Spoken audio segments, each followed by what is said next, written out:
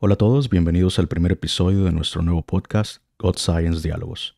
En este espacio exploramos la conexión entre la ciencia, la fe y la cultura, con el propósito de ofrecer contenido que inspire, edifique y nos guíe hacia una verdad más profunda en Cristo. Soy Cristian Jiménez, médico de profesión, y a lo largo de mis estudios en medicina encontré preguntas fundamentales sobre la existencia y el propósito, lo que eventualmente me llevó a la fe cristiana. Esta plataforma es el fruto de ese recorrido personal y tiene como misión mostrar que la ciencia y la fe no solo pueden coexistir, sino que juntas nos ofrecen una comprensión completa de la realidad. Hoy me emociona presentarles a un invitado muy especial, el Dr. Niari, un neurocientífico de gran renombre en la Escuela de Medicina de Yale. El Dr. Ari es profesor asociado Kent de Psiquiatría y profesor asociado de Fisiología Celular y Molecular. Su investigación se enfoca en los mecanismos cerebrales que subyacen a los trastornos del ánimo, como la depresión y la ansiedad así como los trastornos por abuso de sustancias. Además de sus logros científicos, el Dr. Ari es un líder comunitario y anfitrión del podcast Ari Hour, en el cual conecta la neurociencia, la fe, la salud mental y la justicia social. Ha colaborado con figuras destacadas como el artista Lecrae y organizaciones como NAMI y Veritas Forum.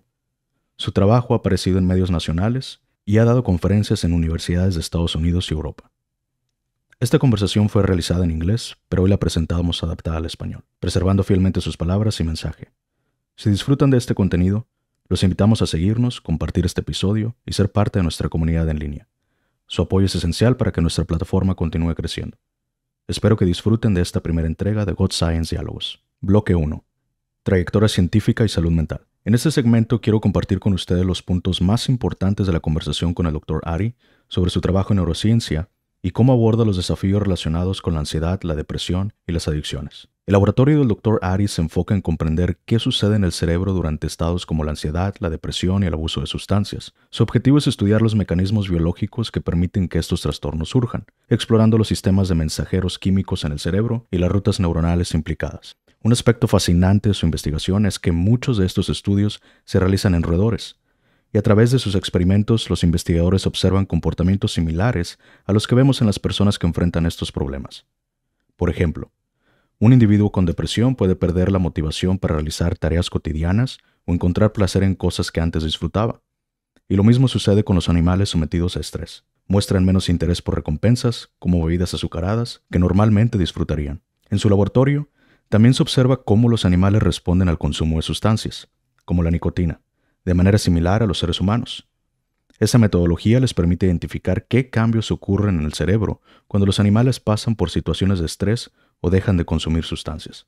Esta línea de investigación busca desarrollar nuevas terapias que ayuden a reducir el riesgo de consumo, prevenir recaídas y disminuir la ansiedad asociada a la abstinencia. Un ejemplo interesante que mencionó el Dr. Ari es el uso de un medicamento probado por la FDA para la hipertensión. Este fármaco, que regula los canales de calcio en el corazón, también actúa en el cerebro, donde podría ser útil para tratar trastornos de adicción y del estado de ánimo como la depresión. En colaboración con psiquiatras y psicólogos, su equipo está investigando cómo este tipo de medicamentos pueden mejorar los síntomas en personas con ansiedad o que atraviesan por procesos de abstinencia. Otro tema clave en su investigación es el consumo de nicotina y la creciente popularidad de los cigarrillos electrónicos especialmente entre los jóvenes. En la última década, el mercado de estos ha crecido exponencialmente, con miles de sabores disponibles. Si bien algunos argumentan que estos productos ayudan a los fumadores a dejar el tabaco, también han ayudado a que adolescentes empiecen a consumir nicotina. El equipo del Dr. Ari investiga cómo los sabores en estos productos afectan los procesos cerebrales, la dependencia y las recaídas. Esta línea de trabajo busca entender los riesgos asociados con el uso temprano de nicotina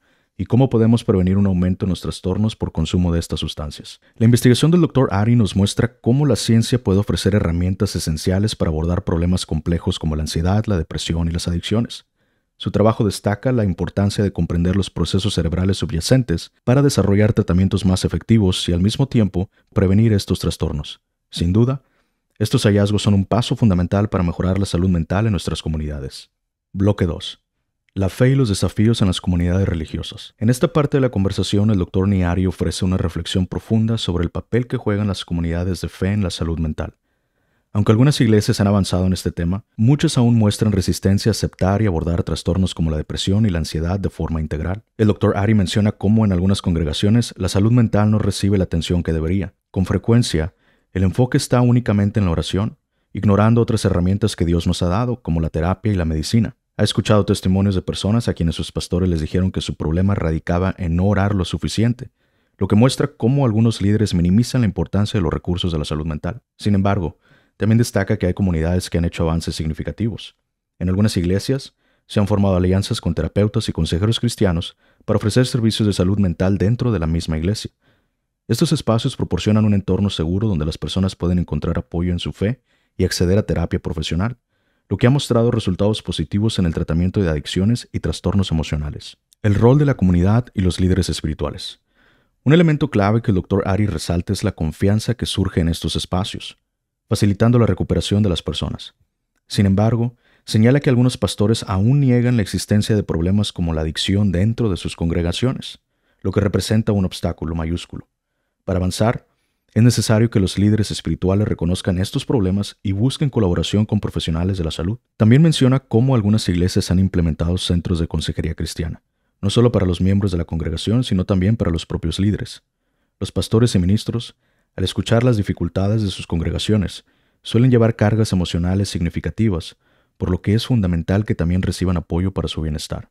El Dr. Ari menciona algunos recursos valiosos como una guía de salud mental, desarrollada por la Asociación Estadounidense de Psiquiatría en colaboración con líderes religiosos. Esta guía busca equipar a los líderes de fe con conocimientos esenciales sobre la salud mental. También recomienda a la organización NAMI, que ofrece recursos tanto para personas con trastornos mentales como para sus familiares, creando un espacio de apoyo comunitario en todo Estados Unidos. Es claro que la integración de la fe con la atención en la salud mental puede ser un camino grande para la sanación. La confianza, la comunidad y colaboración entre profesionales de la salud y líderes espirituales son fundamentales para abordar estos problemas de forma efectiva. Esto nos invita a reflexionar sobre cómo en nuestras propias comunidades de fe podemos abrir espacio para una conversación más sincera y comprensiva sobre la salud mental. Bloque 3. La reconciliación entre la ciencia y la fe. En esta parte de nuestra charla, el Dr. Ari profundiza en un tema central para muchos de nosotros, cómo reconciliar la ciencia y la fe. Además, reflexiona sobre el impacto positivo que la fe puede tener en la salud mental y destaca la importancia de abordar las experiencias difíciles con empatía y comprensión. Durante sus años de escuela y universidad, el Dr. Ari tuvo debates filosóficos con amigos, algunos de ellos ateos, donde cada uno intentaba convencer al otro sobre sus puntos de vista. Sin embargo, con el tiempo se dio cuenta de que esos debates rara vez eran efectivos y que la oposición intelectual a la fe solía estar vinculada a experiencias personales difíciles más que argumentos puramente racionales. Mencionó el ejemplo de una persona que perdió a su padre en su juventud y expresó resentimiento hacia Dios por no haber intervenido. Estos encuentros le enseñaron al Dr. Ari la importancia de construir relaciones genuinas con las personas, en lugar de limitarse a argumentos intelectuales.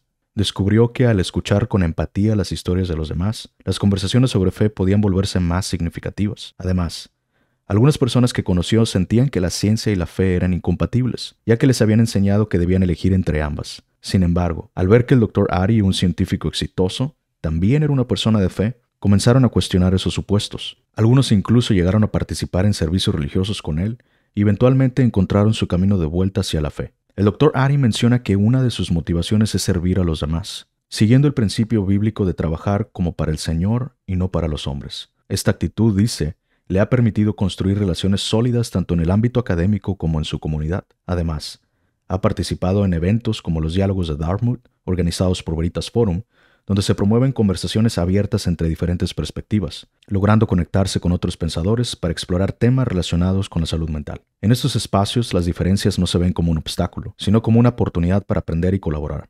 El Dr. Ari destaca que la clave es ser intencional, construir comunidad, escuchar diferentes puntos de vista y compartir la propia perspectiva sin comprometer las convicciones. El Dr. Ari también compartió estudios que demuestran los efectos positivos de la fe en la salud mental. Por ejemplo, investigaciones sobre la oración han mostrado que las personas que practican la oración pueden tolerar más el dolor y activan diferentes áreas del cerebro en comparación con quienes no lo hacen. Otros estudios mencionados reveló que la combinación de terapia cognitivo-conductual con prácticas espirituales como la oración puede ser más efectiva que cualquiera de las dos por separado. Sin embargo, el Dr. Ari reconoce que la práctica inadecuada de la fe puede en ocasiones agravar situaciones difíciles, especialmente cuando los líderes religiosos no están capacitados para manejar traumas de manera adecuada. Eso subraya la importancia de la formación y la colaboración entre profesionales de la salud mental y líderes espirituales. La experiencia del Dr. Ari nos invita a reflexionar sobre la relación entre la ciencia, la fe y la salud mental. Nos enseña que estas áreas no solo pueden coexistir, sino que juntas pueden ofrecer un enfoque más completo para enfrentar los desafíos de la vida.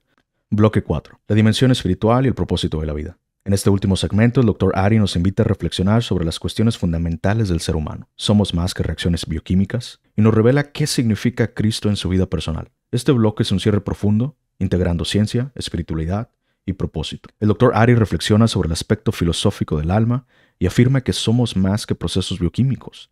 Explica que aunque la biología nos ayuda a entender mucho sobre el cuerpo y el cerebro, hay aspectos de nuestra existencia que están más allá de lo que la ciencia puede explicar. Algunos podrían argumentar que aún no sabemos lo suficiente, pero él se alinea con la perspectiva de que hay una dimensión sobrenatural que nunca podremos comprender por completo. El cerebro es particularmente complejo y difícil de estudiar en comparación con otros órganos.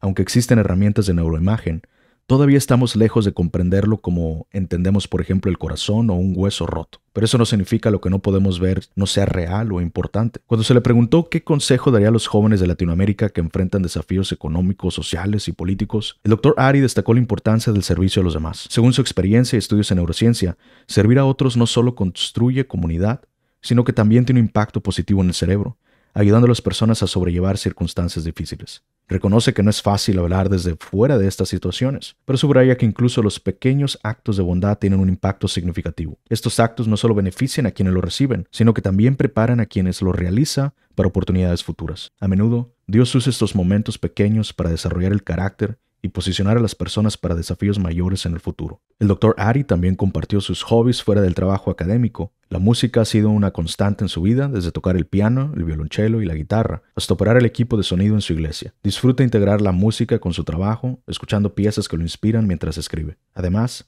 Mencionó su amor por los deportes, especialmente el baloncesto, y su aprecio por la naturaleza. Encontrar momentos para estar al aire libre y hacer una caminata le proporciona espacio para la reflexión, y el descanso. El Dr. Ari describe su enfoque de trabajo como interdisciplinario, integrando la neurociencia con otras disciplinas como la farmacología, la biología celular y molecular, la psicología y la sociología. Este enfoque le permite trabajar en colaboración con expertos de diferentes campos, uniendo conocimientos para avanzar en la comprensión de la salud mental y el bienestar social. Para quienes enfrentan dudas en su fe, el doctor ofrece un consejo sincero.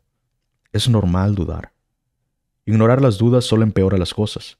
Igual que sucede con los problemas de salud mental, en lugar de ocultar esos sentimientos, recomienda hablar con personas de confianza y explorar las dudas con honestidad. Comparte que muchas de las personas más firmes en su fe pasaron por periodos de incertidumbre o incluso se alejaron completamente de la fe antes de regresar. Para ellos, esa experiencia de alejamiento y regreso fortaleció su convicción porque sintieron la presencia de Dios de una manera que transformó sus vidas. Para el Dr. Ari, Cristo es el acceso a Dios y la base de una relación personal con Él. Explica que en su juventud intentaba ser bueno ignorando sus errores, pero descubrir el perdón a través de Cristo cambió su perspectiva. Este perdón le permitió dejar de pretender perfección y en su lugar construir una relación auténtica con Dios. También comparte que siente un llamado a servir a los demás como expresión de lo que ha recibido de Dios. Ve su trabajo como una forma de estudiar la creación de Dios y contribuir al bienestar de las personas. Esta perspectiva da sentido y propósito a cada aspecto de su vida. El doctor Ari nos deja con un mensaje poderoso. La fe y la ciencia no están en conflicto, sino que juntas pueden proporcionar una comprensión más profunda del ser humano y del propósito de la vida. Nos anima a vivir con intención, servir a los demás y enfrentar nuestras dudas con honestidad, sabiendo que éstas pueden ser parte del camino hacia una fe más sólida. Con esto cerramos este episodio de God Science Diálogos. Agradecemos su tiempo y esperamos que esta conversación les haya inspirado tanto como a nosotros. Si disfrutaron del contenido, los invitamos a suscribirse a nuestras plataformas y compartir este episodio con sus amigos y familiares. Su apoyo es esencial para que podamos seguir creciendo y generando contenido que inspire y edifique. Hemos habilitado un enlace con opciones de apoyo donde podrán encontrar maneras de contribuir a este proyecto para que juntos sigamos llevando este mensaje a más personas. Pueden acceder al mensaje en la descripción de este episodio o directamente en nuestras redes sociales. Gracias nuevamente por acompañarnos en este inicio de God Science Diálogos. Nos vemos en el siguiente episodio.